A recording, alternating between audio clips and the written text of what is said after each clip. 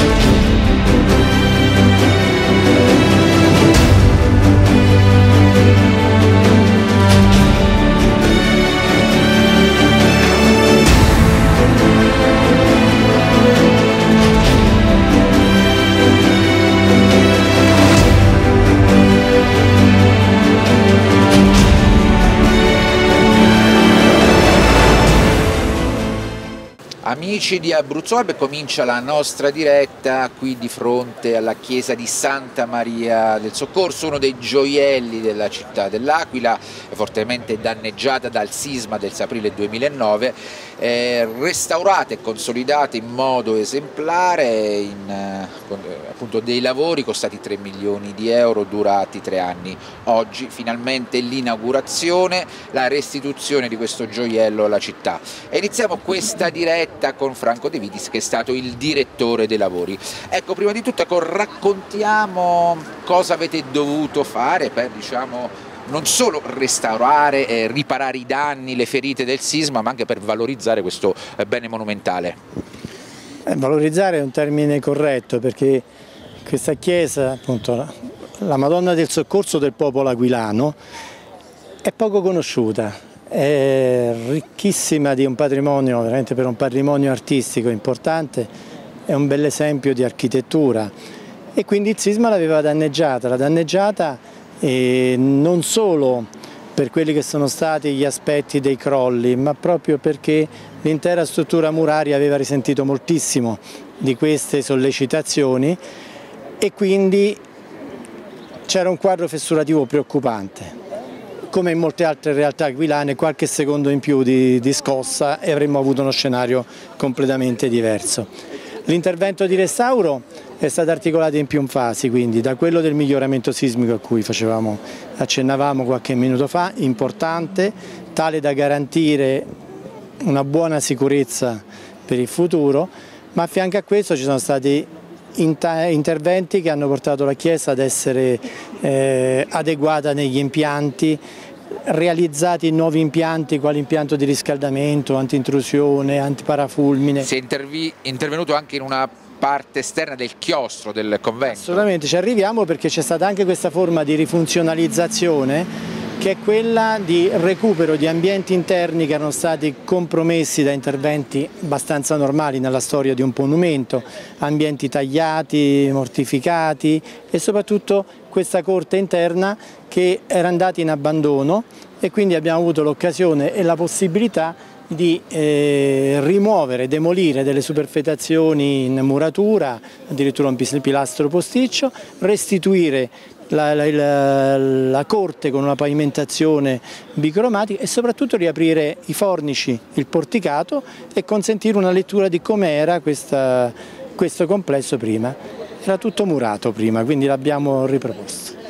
Ecco, eh, cerchiamo di anche di spiegare, far comprendere ecco, l'importanza, la peculiarità di questa chiesa. Um, qualcosa si vede già a occhio nudo, ad esempio la bellissima facciata eh, policroma, bianca e rossa, ma anche all'interno ha una pianta particolare e racchiude più di un tesoro. Beh, eh, sembra essere così come è stato probabilmente una iniziale addizione di corpi di fabbrica dall'originaria cappellina della venerazione della Madonna alla chiesa più grande edificata appunto a partire dal 1469 e quindi poi al convento con all'arrivo degli olivetani, la costruzione del convento e quindi abbiamo questa tipologia che tende in, in, come impianto iconografico tende a una eh, croce greca ma in effetti poi ha delle dimensioni che alterano un pochino. Anche le due torri che sono ai lati delle braccia corte del transetto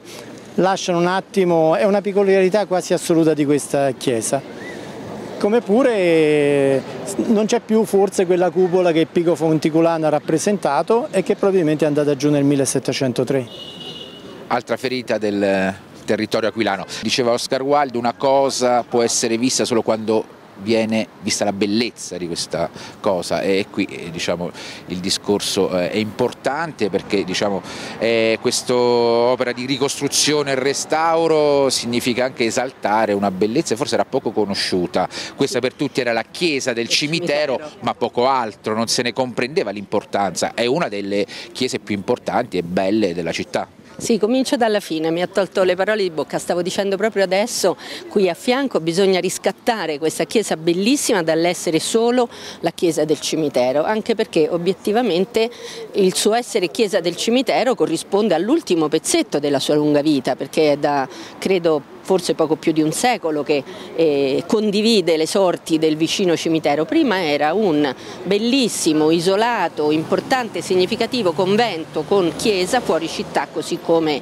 per fare un paragone forse sproporzionato, ecco Le Maggio col suo convento, però testimonianza di una pagina importante di questa città che è questa presenza degli olivetani, del legame tra l'Aquila e Siena che si incarna poi... Olivetani nella... che tra l'altro qui c'era un grande oliveto e delle vigne al posto del cimitero un tempo. Sì, questo fa parte diciamo, del, del, rapporto tra il lavoro, la terra e la fede tipico degli ordini monastici. Gli olivetani venivano da Siena e l'Aquila ha in San Bernardino incarnata la sua figura di riferimento importante anche del legame con, con Siena e questa chiesa ne è una materializzazione. Quindi come tante cose cose che gli anni e sicuramente anche questi dieci anni di terremoto hanno oscurato e che quindi gli aquilani forse non sapevano nemmeno di avere, questo riconsegna deve essere anche qui come in tanti altri posti l'occasione per riscoprire forse quello che già si aveva senza saperlo troppo.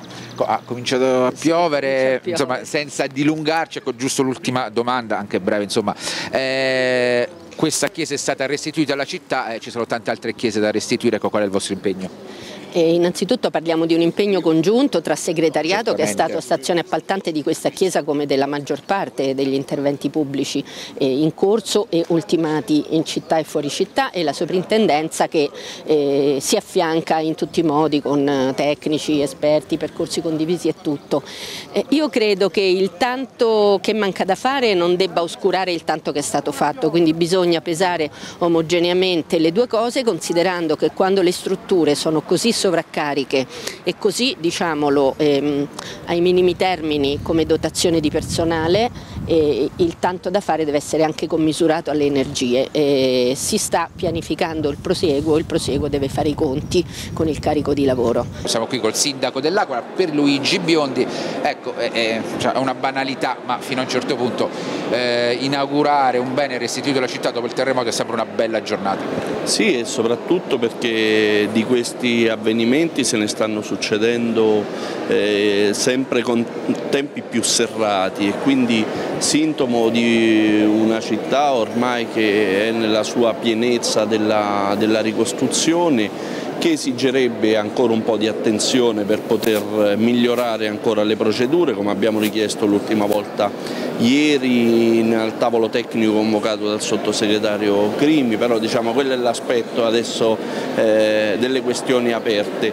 Eh, oggi è una giornata di festa, una giornata di festa per la comunità e un altro pezzo di racconto di una città che sta rinascendo e mm, credo che l'aumento dei flussi turistici che abbiamo registrato eh, nell'ultimo anno stiano a testimoniare che anche l'Italia e il mondo, perché c'è un incremento anche dei paesi stranieri, si sta accorgendo di quello che è accaduto qui in questi anni. Facciamo comunque un passo indietro, ecco, c'è stato un incontro importante, è vero, molti edifici, palazzi vengono restituiti alla città, vengono ricostruiti, eh, però diciamo, in prospettiva c'è ancora molto da fare anche per quanto riguarda le risorse economiche, in teoria la ricostruzione finisce nel eh, 2020 ma andrà ovviamente rifinanziata perché ovviamente non, è stata completata, ecco questo è uno degli elementi fondamentali e poi ce ne sono anche altri. Sì, lo stanziamento in bilancio della legge di bilancio nazionale termina nel 2020 dalla bozza di relazione al Parlamento sappiamo che ci sono ancora 1 miliardo e 700 milioni di euro da impegnare, però la programmazione complessiva su cui dobbiamo lavorare proprio questa mattina ho scritto una lettera al coordinatore della struttura di missione, all'ingegnere Raniero Fabrizi, di convocare urgentemente un tavolo perché un pezzo di ricostruzione pubblica si fa attraverso la programmazione. Se a questo si aggiunge la programmazione delle risorse che serviranno eh, per quella privata, eh, abbiamo un dato che si aggira sui 7 miliardi di euro, quindi significa che questo territorio ha bisogno di ulteriori 5 miliardi.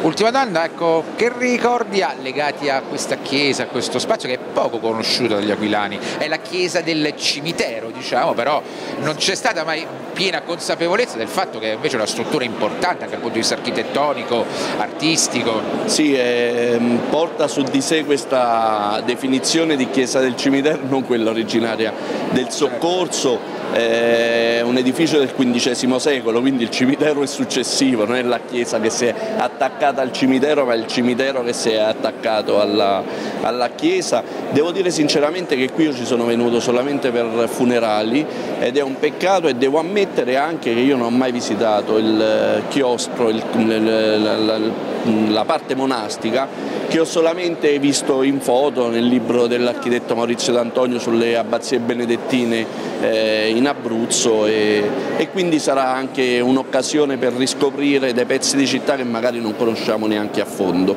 Beh, intervento abbastanza complesso che ovviamente ha, ha fatto emergere delle criticità eh, che abbiamo riscontrato col proseguo dei lavori, ma con grande impegno siamo riusciti comunque a superare tutte le difficoltà che abbiamo incontrato. Ecco, quali erano i danni riportati dall'edificio e come siete intervenuti dal punto di vista tecnico?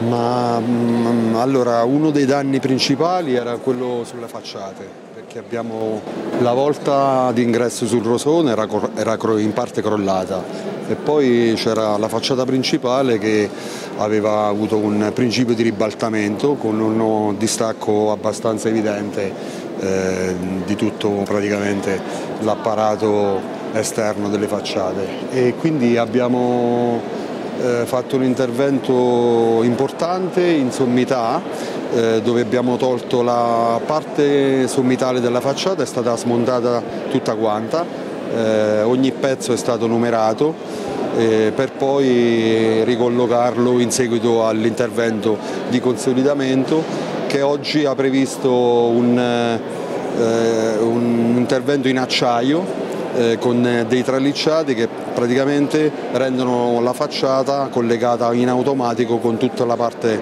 dell'edificio. Mentre all'interno? All'interno sono stati fatti sono stati fatti tutta una serie degli interventi importanti sulle coperture, sulle volte, che erano anche quelle molto danneggiate, anche perché la struttura del tetto esistente poggiava sulle volte. Quindi anche quando c'è stato il sisma, praticamente l'effetto del sisma ha interessato anche le parti strutturali delle volte quindi eh, facendo tutti, tutta questa serie di interventi praticamente eh, non, non, ci sono parti di murature o di eh, parti dell'edificio che non sono state interessate da interventi importanti. Oltre al recupero, guardando in prospettiva, questo significa che questa chiesa nel caso malaugurato, ma eh, siamo in un territorio a forte rischio sismico, eh, questo rappresenta diciamo, un'evenienza, ecco questa chiesa sarà molto più sicura. Beh sicuramente, sicuramente. È stato fatto un intervento a livello di consolidamento e miglioramento sismico notevole. Eh, ultima domanda, ecco così un... Eh, anche, anche l'intervento importante sul campanile che era crollato. Ah, ecco era crollato ed era formato da una muratura, eh, ogni colonna aveva una tipologia eh, esecutiva. E questo è un aspetto tipico perché poi intervenendo nel corso sì, dei secoli cambiano sì. le tecniche, cambiano i materiali e poi questo indebolisce. Abbiamo, abbiamo cercato di riportarla a quello che era il suo, eh, diciamo, la sua storia, far riemergere la sua storia e, e quello che oggi tutti possiamo ammirare. Ultimissima domanda, questa volta per davvero, ecco, un giudizio, un commento dalla voce di un protagonista eh, per quanto riguarda poi il processo di ricostruzione post-sismica, eh, che giudizio dà sulla certezza dei fondi, sulla tanto invocata semplificazione burocratica e quant'altro? Guardi, Domandone, diciamo. Questa è una domanda un po' a trabocchetto, però io sono fiducioso eh, in questi dieci anni eh, si è fatto tanto e, e tutta l'Italia, tutto il mondo intero può, vedere che la città cambiato, sta cambiando volto, ha cambiato proprio, sono riemerse le bellezze, alcune delle quali forse anche sconosciute. Eh, Ma lei è stato uno dei protagonisti del uh, restauro del Palazzo dell'Emiciclo, addirittura dotato di eh, cuscinetti sismici. Credo che mh, la tragedia che ci ha colpito e che ha danneggiato il territorio ha dato ampia possibilità a, a tutte le aziende locali ma anche di, di tutta la nazione di eh, aumentare le loro eh, qualità, di aumentare il know-how e quindi di essere in grado di affrontare anche interventi importanti come quelli che si stanno realizzando in tutto il territorio. Chi meglio di lei può raccontare eh, diciamo, i tesori, le emergenze artistiche che eh, conserva questa struttura e come poi l'avete non solo restaurate e valorizzate? Allora guardi, per fare quello che lei mi invoglia a fare avrei bisogno di un tempo lunghissimo perché al di là di quello che ognuno di noi poteva pensare questa chiesa racchiude all'interno talmente tanti, è uno scrigno di preziosità, talmente tanti tesori che per descriverli analiticamente anche perché sono pietre di riferimento, veramente pietre miliari per uno studio sistematico sull'architettura, sulla pittura, occorrerebbe veramente una sezione certo, di tempo non abbiamo questa. lunga. Le dico che queste opere d'arte ovviamente c'erano anche prima, non è che sono state inserite adesso, però erano arrivate ai nostri giorni ad eccezione di alcune su cui ero riuscita con finanziamenti della banca, Fondazione Cassa di Risparmio ad intervenire, erano giunti ai giorni nostri in condizioni talmente misere che diventava difficile leggere il capolavoro, è come un capolavoro disvelato, cioè come una cosa che dopo questo restauro per fortuna adesso viene alla luce e può essere apprezzato. Ecco c'è ad esempio il crocifisso ligneo. Guardi, il crocifisso ligneo eh, c'è, ma io citerei soprattutto certo. il monumento sepolcrale di Jacopo di Nodernanni, che è notoriamente il mecenate più generoso dell'Aquila, è quello che a Silvestro ha commissionato il mausoleo di San Bernardino, era colui che aveva una confidenza intima con queste figure così emergenti. E lo troviamo allora, qui sulla... È questo, è questo invece dall'altra parte, vicino a quell'altro altare che è un altro pezzo straordinario, che ingloba la Madonnina che poi ha dato origine a questa devozione. Ecco, infatti eh, ricordiamo brevemente ecco, come è nata questa chiesa, che bella la storia. Questa chiesa nasce da una devozione popolare, praticamente sul prospetto di un frantoio c'è un'immagine molto semplice eh, di una Madonna con bambino che però è miracolosa, eh, a tal punto miracolosa che il vescovo del tempo, che era un vescovo di tutta rilevanza, eh, Monsignor Agnifili, diventato poi anche cardinale, decide eh, di raccogliere questa volontà popolare, di dare invece importanza alla cosa e quindi fa realizzare questa chiesa con... Ecco, questo frantoio era proprio localizzato in questo... Sì, sì, sì, in località La Torre, ah. quindi proprio in località La Torre c'era questo affresco di Madonna con bambino che appare adesso talmente usurato, ma ancora per questa ragione forse più suggestivo, proprio perché è oggetto di una devozione popolare, andavano lì a chiedere miracoli, ad accarezzarlo, a toccarlo come si usa fare e quindi siamo intervenuti per riportarlo ad una giusta dignità insieme a tutto il resto, insomma. Quindi... A proposito di miracoli, o meglio, c'è anche il crocifisso Fissoligno che ha una sua peculiarità, un meccanismo interno. È una Salve. È una peculiarità tipica però dell'artista, non è una peculiarità ah. specifica di quello. L'artista a cui viene attribuito, che è appunto Giovanni Teotonico, tedesco. Usava nelle sue eh, riproduzioni proprio di inserire questi meccanismi di grosso effetto, cioè la fuoriuscita di sangue dal costato, la lingua mobile e sono argomenti che vanno studiati a parte, certo. non sono una novità ma che è l'unico crocifisso attribuito a Giovanni Teotorico che si trova comunque qui. Là. Poi non dimentichiamo che eh, questa chiesa fa parte di un complesso più alto, un convento degli Olivetani e dobbiamo immaginare nel XV eh, secolo, insomma, qui Cioè, adesso c'è il cimitero, una volta era... Era l'orto, erano i giardini, era eh. l'orto su cui si muovevano questi benedettini, perché poi di benedettini si tratta. C'erano vigneti. Erano dediti, sì, erano, era tutto ciò che sostentava il convento e anche le persone che avevano bisogno. Insomma, era un complesso, consideri che anche in questo caso c'è un'unicità, perché l'unico complesso dei benedettini olivetani presente in Abruzzo, non ce ne sono altri. In un periodo in cui l'Aquila era aperta a tutti gli ordini, no? ce n'erano tantissimi, francescani, domenicani a seguire, eh, e gli olivitani diventano questa peculiarità, si insediano qui e ci rimangono fino a fine Settecento, quindi Poi, anche un lungo periodo. Ultima domanda ecco, sulla facciata che ha all'Aquila una particolarità. La facciata, la facciata è ecco, raccontiamo con i materiali. La, eh, la facciata è assolutamente straordinaria, le basti dire che è stata trattata esattamente come se fosse non un elemento scultoreo ma una scultura vera e propria.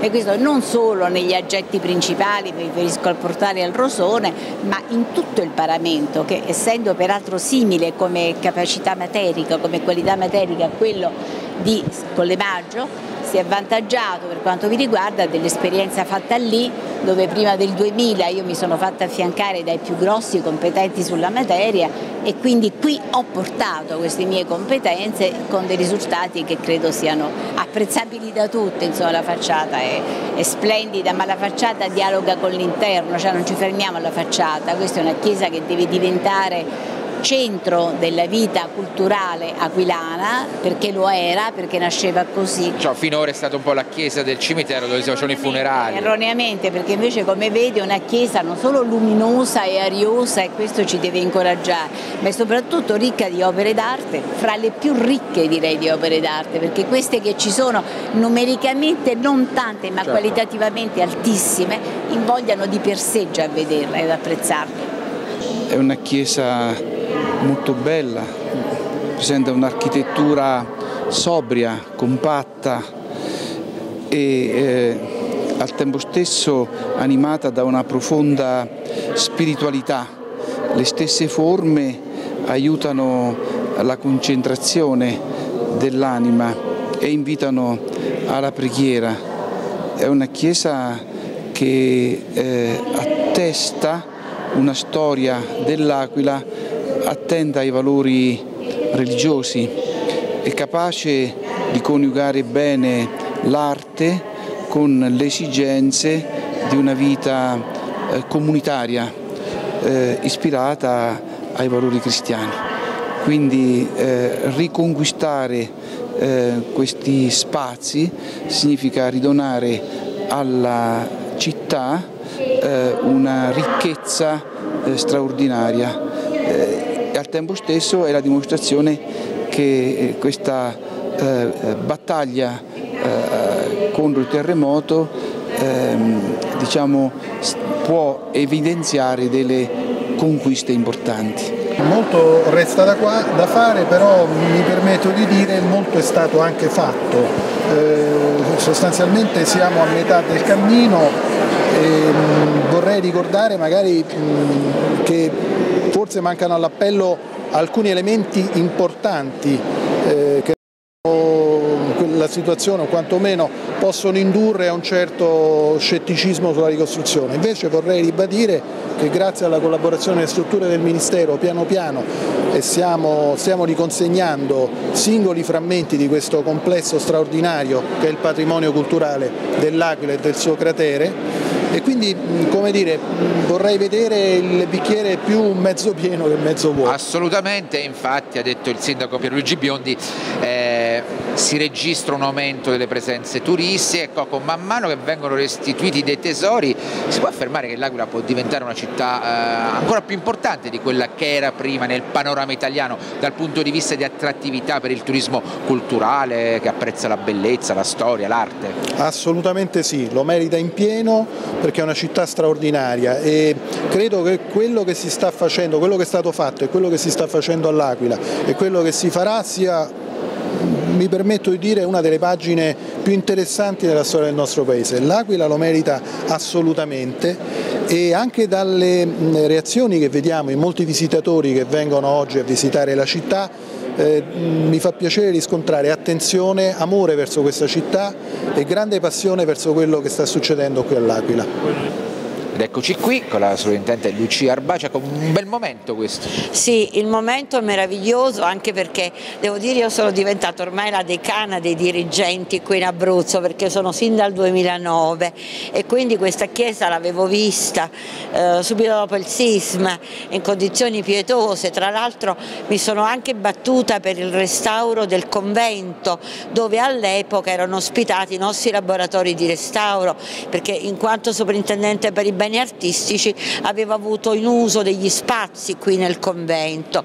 Quindi questo complesso monumentale oggi restituito alla fruizione è qualcosa di veramente eh, encomiabile ed è un patrimonio tra l'altro da quanto si è capito assolutamente sconosciuto agli aquilani e quindi c'è un grandissimo lavoro da farsi per farlo conoscere, per farlo apprezzare, per raccontarlo. Io sono molto lieta lieta che già oggi il sindaco ha dato eh, l'ok per poter far venire qui dei ragazzi, dei giovani che accoglieranno i visitatori e eh, porgeranno ai visitatori un questionario da riempire che è un'indagine conoscitiva sull'Aquila città d'arte, un monitoraggio della eh, capacità Capiamo bene, questa è una notizia, sostanzialmente sì. si è impegnato a organizzare delle visite eh, turistiche, sì. culturali in questa chiesa? Sì, no, sì, sì, faremo, ehm, faremo qui